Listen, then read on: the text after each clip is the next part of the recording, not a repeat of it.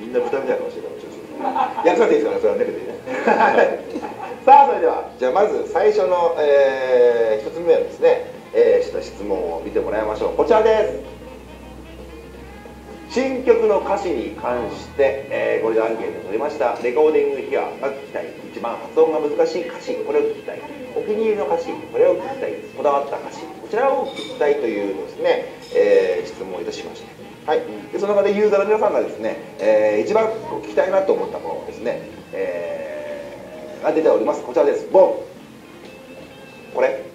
こっち。はい。ボン。これ。ババン。ババン。ババン。あちっちゃく出たこれですね。はい。1位がお気に入りの歌詞。33%で、えー、2位がレコーディング。1位はまあばらけてますけどね。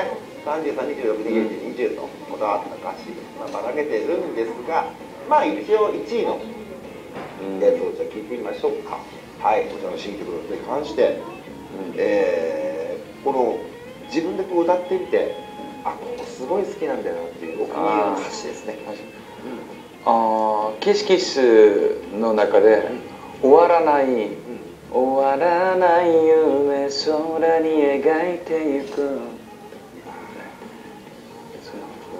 終わらない夢空に描いていくねこの部分がすごく好き、はい、終わらない夢を空に描いていくんですねこれは敵から書いてるんですかねですよね頭の中でこう描いていくねもうもう 표현이 안 되는 거죠. 그러니까 너무 타인을 좋아하니까 이렇게 몸으로 표현이 안 되고 이렇게 어, 뭐 한국에서는 뭐 하늘만큼 땅만큼 사랑한다는 표현이 있는데 그런 표현들인 것 같아요. 음.